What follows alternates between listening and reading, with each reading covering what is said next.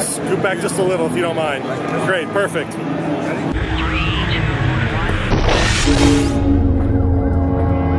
Greetings, folks. This is Jason at the 2019 NAMM Show, Day 3, the crazy Saturday. I'm here at the EBS booth with the one and only. My name's Billy Sheehan.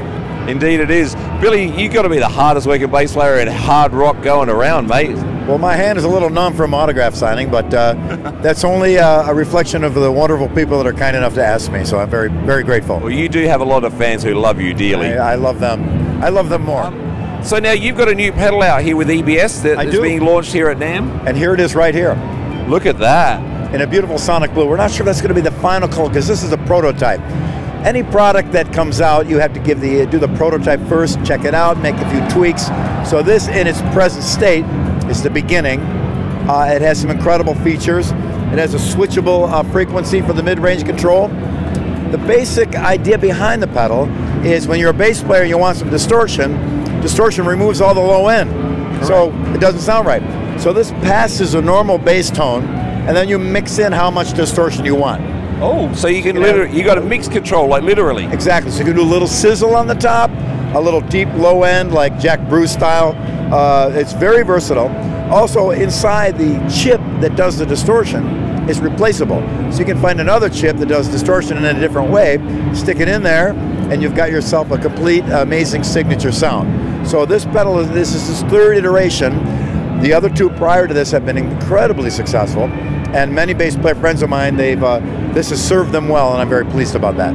That's that's really cool. So a Billy Sheehan signature pedal that can have their own signature sound. Exactly right. Why, why, you know, you don't need me. So Well, do your own thing. But nobody has your fingers, mate. Like uh, maybe you and Steve Harris, like un- unbelievable. Well, every musician has their own unique DNA uh, the, that they do their sound, and their, you know, everyone has a has a sound, whether you like it or not. Everybody's got their own sound, so that's good. So this will enable you to uh, pursue that a little bit more vigorously. Very nice. Now, just real quick, because it's going to happen tonight. This video won't get released for a couple of days. Tell the folks about what is planned and happening tonight, because like again, it's not going to be released till after it happens. Well, uh, the Ultimate Jam Night is a very special night. Uh, musicians from all over uh, jam at it. Uh, usually it happens in Hollywood every Tuesday, but at the NAMM show we do one here. This year, uh, I'm uh, very pleased to say I'll be playing with all of my Eat 'em, and Smile buddies, Steve Vai, Gregg Bissonette, Brett Tuggle.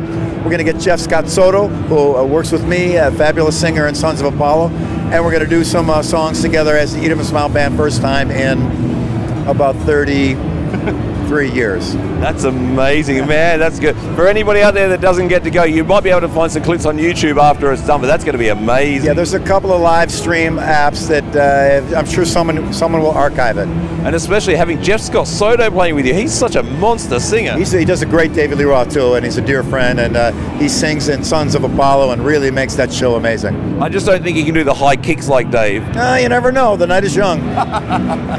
Billy, always good to see you, mate. Thank you, Jason. All right. Rock on.